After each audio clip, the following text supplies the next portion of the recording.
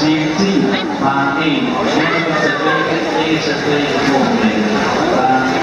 tạo được sự bảo vệ sự yêu và những cuộc bảo vệ của ai và những điều theo người và lại yêu của ai